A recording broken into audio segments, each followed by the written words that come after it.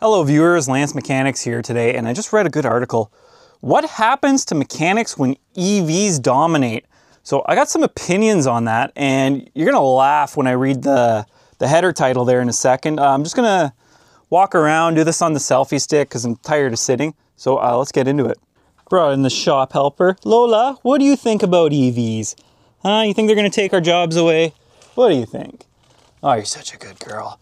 Don't let mommy see you're in here. She's gonna say I have to clean your paws now. Okay, get out. Come on, go. Be free. Oh, switch screens. Oh, I'm gonna try this differently. Gonna throw the dog's toy while I'm here and uh, reading this. Multitasking. So, imagine a world where the roar of a gas engine is a distant memory. What happens to the thousands of skilled mechanics who keep our cars running today? Will the wrenches gather dust or will they adapt to a silent electric future? This video will dive into the unexpected transformation awaiting the automotive repair industry. Oh boy, um, what do I think about that? Um, I don't think we're gonna lose any mechanics, personally. Oh, you're vicious.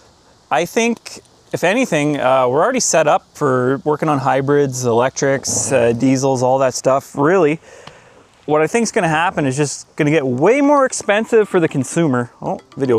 Sorry, my entire life's a distraction, right, little girl? Oh, you're such a good girl. Answer the wifey there. All right, let's get her off me. There we go. So, oh, what was this article saying? Uh, where are we? Uh, the automotive repair industry as we know it is on life support. It's not, it really isn't. And they suspect by 2035, electric vehicles are projected to make over 50% of new car sales. Okay, so this is a numbers game here, I believe. Lola, let go. Where someone uses 50% of new car sales. Okay, that's great. Um, let's say you sell a million cars in 2035. 500 to 1,000 of those are, they fall under hybrid, electric, uh, diesel electric, whatever. You still have over 100 million cars on the road that are still ICE engines, that's internal combustion engines. So they're making the numbers seem larger than they really are. And my theory is we all know there's a push for electric. It's they're doing that everywhere. Underground electric is huge because it's clean you don't want diesel particulate flying around in our air there, so that's that's a big one.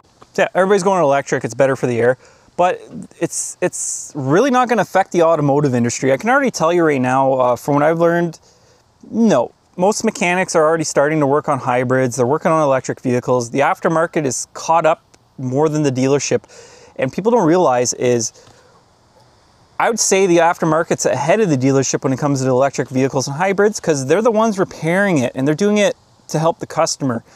So right now the trend with electric vehicles is everything is an expensive repair. I'm seeing mid 2000s, 2010 Hondas, for example, because I'm always looking for them where they need inverters or the battery is dying. And to me, I'm like, well, an inverter is $2,500. Um, I'll, I'll email them saying, well, what's wrong with it? Well, it was diagnosed at a shop as an inverter. I'm like, are you sure? Do they have proof? What was the troubleshooting? So I'll ask questions like that because I can fix it. An inverter is stupid or a DC to DC. That's very easy repairable stuff. Or I've gone farther and I've pulled apart Tesla batteries, batteries and rebalanced a single cell. Or you just replace that sub pack if it's really out to whack. But there are companies who will rebalance them for you. And you're just replacing one cell, which is cheaper than a $17,000 battery. Uh, you're gonna pay a little bit of labor, but these vehicles, Lola, uh, I think are better long term. Um, you can have some expensive repairs, but you could also have expensive repairs on a gasoline or a diesel engine. So, what's the issue? Uh, the maintenance is down a little cheaper. Oh, she's vicious. So, if anything, it's better long term. Uh, you're just going to see more specialized shops doing repairs. Uh, let's get back to the mechanic side. Got it. So these articles are funny. They're saying uh, the new generation of technicians will have to be far more skilled and advanced, and they'll have to have skills they've never had before. Um, we've, we've had them for 20 years, we've had them for 30 years. There's nothing new. I really don't think mechanics are going anywhere with all this naysay. Uh, it's just, I, I looked at the person who wrote the article and I'm like, oh my God, they're just an IT person. They really have no clue what they're talking about. Like, all this naysay is, is it blows my mind. Uh, mechanics were pretty intelligent. We're not going anywhere. If anything, um, the general public's going to pay more at the end of the day. Like, you, move from maintenance to paying for bigger repairs. Uh, it is what it is, like I said, and I personally believe the private garages are way ahead of the dealerships and the OEMs. Uh, I was following Rich Rebuilds from day one. I loved it. Uh, you're seeing more and more YouTubers get into the electrified circuit or genre or whatever you want to call. And like I said, it, they're making it seem very, very easy. It is dangerous. Uh, DC is a very, very dangerous. She's unforgiving. Whereas AC, you you may survive. DC is going to basically cook you. So I'm just waiting for one of these YouTubers to make a mistake because I don't feel like they respect it. Um, I deal, I don't really deal with it, but I do have the potential to interact with 800 volt DC where I am. And it's all about safety. And there's so much safety interlocks involved that it's, it's very difficult to hurt yourself, but there's always the potential. And I look at these people who are dealing with 48 volts. It's lower, but 48 volts is still extremely dangerous. They wouldn't have high voltage colored cables on it if it wasn't an issue. Where are you going, Lola? So if you're new to electric vehicles, uh, general public, even some of you automotive technicians, uh, there's something called an HVIL circuit. Uh, every electric vehicle uses it. It's called a high voltage interlock. When it senses an open or senses current to ground or the resistance jumps up, meaning disconnected, it immediately turns off the system. Um, a good example of this is in Jerry Rig Everything, where he ripped his back bumper off. He also opened the circuit on the HVIL circuit, and the, tech, uh, the Tesla technicians found it very quick. But this is a common circuit in all electric vehicles, and possibly even a lot of hybrids these days. Oh, she's tough. And generally, a lot of people don't know how to troubleshoot it. Some some use a total resistance, or some use current generators. Uh, so you can basically go to the center of the circuit and see what current it's putting out, or you check the resistance. In the case of Tesla, every module has a 60 ohm resistor in line, and you basically just have to start probing to see where the open is or the short. Uh, that's what Tesla uses for their uh, their HVIL circuit, and it's pretty pretty good information. You can find it online. Tesla's one of the few OEMs will actually just release everything. Got it. So the information's there. You can teach yourself. I highly recommend everybody learns Tesla because it's so simple at the end of the day. And there's such an aftermarket available for it because I'm even I've been looking at Tesla batteries because you can buy a BMS system and you can use it for solar panel. I want to put solar on the garage and see what I can do with it. Maybe I can weld with an entire solar pack here. It's DC at the end of the day. It's hot here. She's coming back. Anyways, so let's talk about certification. So here in Ontario, Canada, the average licensed mechanic can deal with 48 volts. Anything after that, you're, you're basically an industrial electrician. Uh, great for certification. Um, we have a lot of industrial electricians starting to do the electrical side of DC current. It's freaking wicked. But for the automotive guys, you got to really respect it. And I remember when EVs started showing up at the dealership, everybody was paranoid they had the the fiberglass poles, the gloves, all this stuff. They were you should still do this using their bad hand to turn off the disconnects. All great safeties, number one. Um, they were over afraid. You still have to respect it, but they were to the point where they were, they wouldn't even work on the 12 volt system, and they were paranoid about all this other stuff. Respect it, respected it at the end of the day check your facts, check the procedures, but it's not any more difficult than anything else you've ever worked on. The voltage is higher, which requires uh, mindful mindfulness and safety. And that's my recommendation. Just take your time with it. Uh, as it evolves, you're going to realize, oh, you're so cute, that your safety is important. Just take your time and bill accordingly. That's where I think a lot of the uh, so cute. A lot of the costs are going to go up for people. Like, yes, you're not paying for maintenance. You're not you know, doing engines, but engines is such a teeny little part of the the uh, the ice engines in a car. Like I don't explain it. It's really minor. Uh, people are only coming in for oil changes, belts, maybe spark plugs, and a tune-up. Let's say in the life of that vehicle, they spend three grand on maintenance for the spark plugs, oil changes, all the stuff it needs. It's really not much. Uh, let's let's uh, say your drive motors, like your engine. Drive motors $1,200 to replace on a used Tesla Model 3. You can buy them used now. Like, uh, the prices aren't that bad. What's going to kill you is the battery. Um, this could be controversial. I'm going to talk about it. So for anybody who knows battery chemistry and all that fun stuff, oh, I almost got it. Uh, Tesla's superchargers, their quick chargers, on paper doesn't make sense. Um, so a battery is a unique thing. It'll charge very quickly to 80% and it'll do it quickly. And then that last 20% is where people get impatient. So it takes just as much, like, so let's say you're at 10, just random numbers here, you're at 10 amps to get it to 80%. Well, that took 10 minutes and 10 amps. So that last 20% might take 2 amps, but it still take 10 minutes. And then after that, uh, when a battery's at 100%, it goes into like a cell balancing health mode that a lot of people skip out on. So you don't have to do it often. They say like every two months, you got to leave it on for an extra hour or two. That'll help balance the cells. It'll bring everything up to perfect. Uh, for, for me, it's like, well, how does a Tesla supercharge do this? You have to force a lot of current and kilowatts into that damn battery to get it up to 80% and then get it to the last 20%.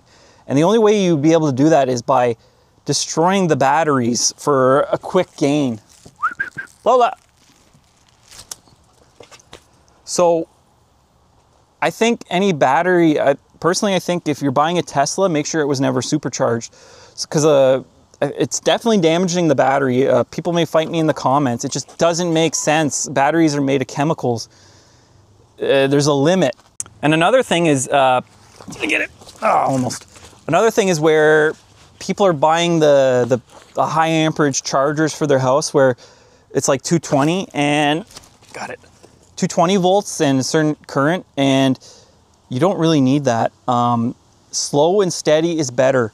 Leave it on charge overnight on your 120 uh, i personally think it's overkill. You really don't need these super high amperage uh, kilowatt chargers. The average person will only use the 120 volt and it'll be better long term. I know this video is kind of evolving, but yeah. So that's another cost people are paying electricians to to do install on their houses, and I don't, I don't think it's necessary. It's like when Honda figured out that they don't need to make a real pickup truck because the average person only uses it once a year, and it's true. Got it. You really don't need to splurge on all this extra, so keep that in mind. And I know I'm talking about the superchargers, but yeah, back to the actual thing at heart here. I really don't think it's going to affect any mechanics. Uh, I think the private garage industry is already caught up way further than they need to be. Uh, I personally think uh, the OEMs don't like it because now the aftermarket is way ahead of the dealership. And let's be honest, at a dealership, they're not going to open up a battery. Um, they're going to replace it as complete units. That battery is going to go to a place and get refurbished. Oh, almost got it. And you know what? Those technicians are going to fall behind compared to the individual who focuses mainly on uh, diesel electrics or hybrids or full full electric. Um, and there's another good good thing here, like uh, hybrids. Everything's a hybrid. Electrics. Uh, look at uh, the Boss Garage there. They're they're working with Edison Motors and they're making diesel electrics, which I think is probably better for the future. Oh, she didn't go for it. Come here, Lola. Go, go, go get it. Yeah, she's up. She's tired. So I think it's better for the future. And I really don't think you're going to see like much changes. Uh, I heard you made that video about the Ontario grid. It sucks. Uh, I don't, it won't handle it. So, and I remember when I was in trade school, they said by 2025 they were going to uh, forbid the sale of ICE engines.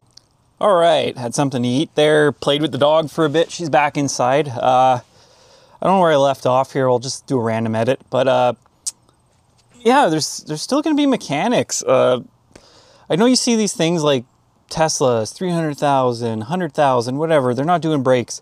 You're still doing tires. You're still doing suspension. Um, I really don't think it's going to really hurt the mechanic industry. If anything, you're going to see more mechanics popping up, if anything. even I'm considering it, doing it in my part time uh, when I have days off here.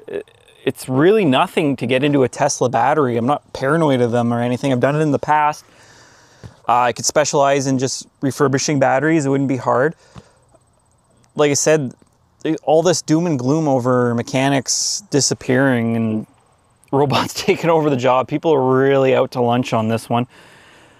Um, that's my opinion. Again, people don't realize how heavy these hybrids and SU or battery vehicles are. They're heavy. Like they're gonna go through suspension a lot quicker than uh, your ICE engine. Like those Honda 1.5s, like the block itself only weighs 80 pounds. Um, a drive motor is pretty light. Um, transmission adds up. Like they're really comparable until you get to the battery, the power packs. Then these things get heavy. So again, suspension, brakes, electrical problems. The electrical problems are still there.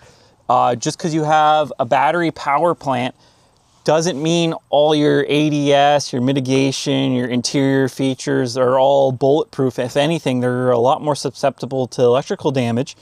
And that's where people are finding out. So early on, uh, I don't think people realize that the, uh, the dash screen in a Tesla, uh, they're using chaotic EPROMs or something with memory. But when that screen failed, you lost the vehicle, you lost your SRS, everything. Because they weren't doing what cell phone companies and auto manufacturers figured out is uh, it was it was had a certain amount of life cycles left in it. So you turn the car on, you turn it off, and eventually this memory would fail. Whereas in your cell phones or in automotive, it's continuous. You can continuously reprogram this memory, and Tesla kind of dropped the ball on that. Someone will correct me in the comments, but things like that. There's a lot of EV startups. There's a lot of a variety coming, especially over from China. I know people are kind of scared. Like, look at Rich Rebuilds. Uh, there's some good stuff there. I said there's a lot more diversification coming out, and there's gonna be a lot more options. We'll just have to see what makes it to the North American market. And like with anything, more options, you're gonna have more mechanics, more opportunity. Like I said, uh, I'm seriously considering. Uh, if someone wants to set me up here with, uh, just send me Tesla batteries or power packs and all the equipment, I'd be really thrilled. I'm eventually going to buy it, but if you can speed that up, thank you, thank you. Uh, where, where, are we in the video? Oh yeah, by the way, 90% uh, of you aren't subscribed.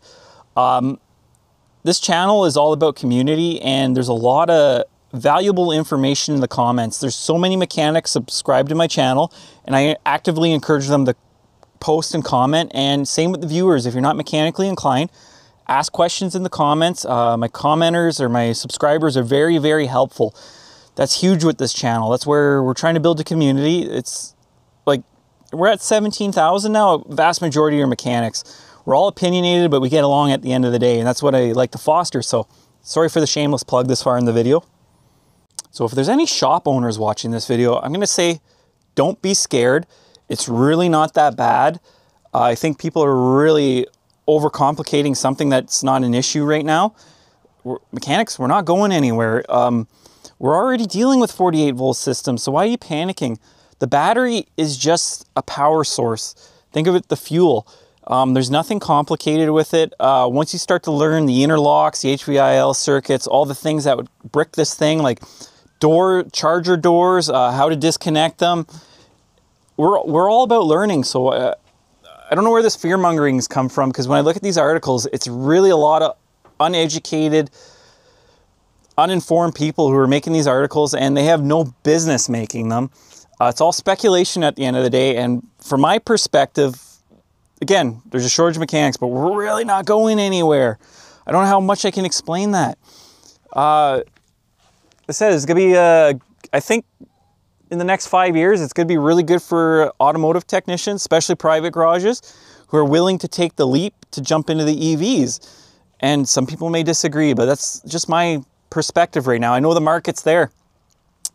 And I, I, will keep reiterating this, that uh, the private garage sector has really uh, jumped ahead of uh, the OEMs. Um, and it's going to be interesting to see because there's a lot on the market. So yeah, uh, I think I'll end the video here. It's pretty long. It's getting hot in here. Um, it's all over the place. So yeah, have a good one.